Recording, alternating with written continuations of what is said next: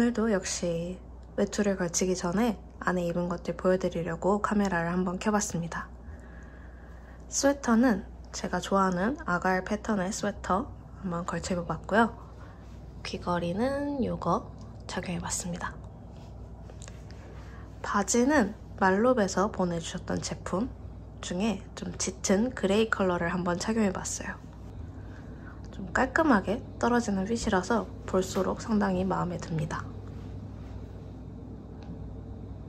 이 위에 말롭에서 보내주셨던 울코트 한번 꺼내 입어봤습니다. 그레이 컬러가 실제로 봤을 때 훨씬 더 고급스러운 느낌이 들고 상당히 도톰한 재질로 되어 있어서 좀 더 추운 겨울에도 입을 수 있을 것 같은 느낌이 듭니다. 저는 칼라 부분을 밖으로 꺼내서 좀 심심하지 않게 코디해봤어요. 여기에 오늘은 브라운 컬러의 가방 메고 나가볼까 합니다.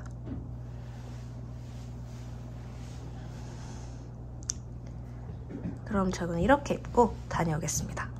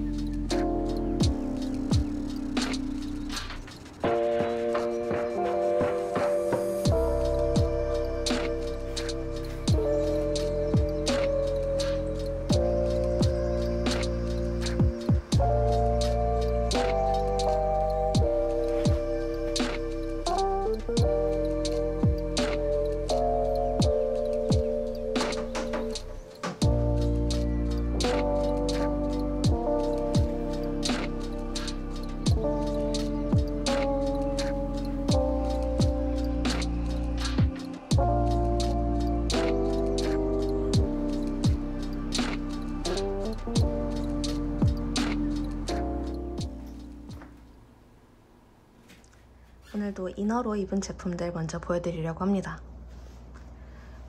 위에 입은 니트탑은 말롭에서 보내주신 제품이에요. 얇은 재질로 되어 있어서 코트나 블레이저의 이너로 입기 굉장히 좋은 제품인 것 같아요. 바지는 굉장히 짙은 컬러의 청바지인데 살짝 스트레치가 되는 재질로 되어 있어서 착용감이 생각보다 굉장히 편하네요.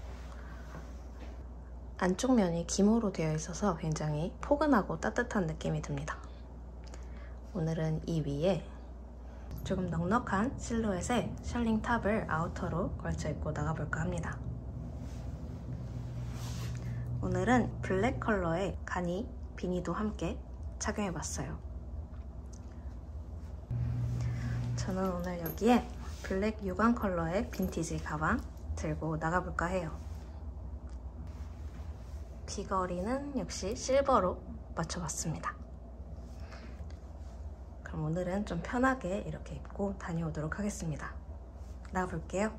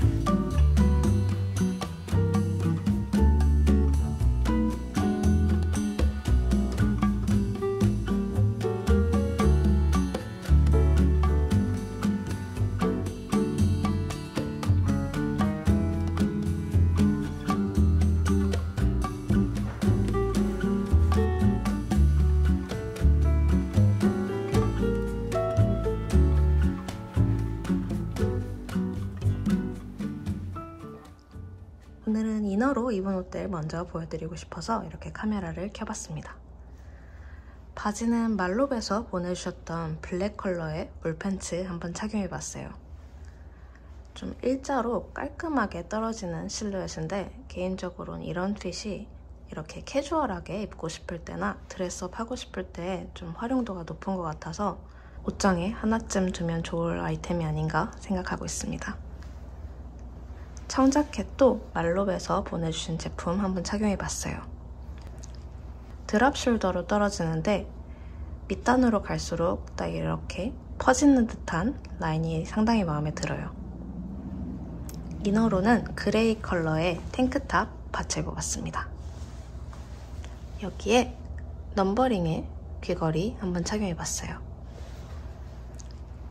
이너는 이렇게 입고 오늘은 이 위에다가 짙은 네이비 컬러의 핸드메이드 올코트 한번 코디해봤어요. 더블 버튼으로 되어 있고 이렇게 묶어서 연출할 수 있는 벨트가 있는데 저는 오늘 풀어서 좀 편하게 입어볼까 합니다. 가방은 좀 짙은 brown 컬러의 가방으로 들고 나가볼까 해요. 그럼 전 이렇게 입고 다녀오겠습니다.